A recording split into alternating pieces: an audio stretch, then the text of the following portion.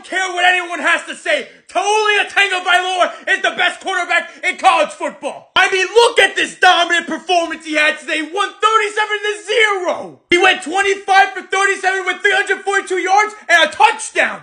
I don't know what the Tagovailoa pants were doing, but they created two god-tier quarterbacks. I'm telling you right now, these two are better than the Mannings. Peyton and Eli Manning couldn't lace up either of their cleats.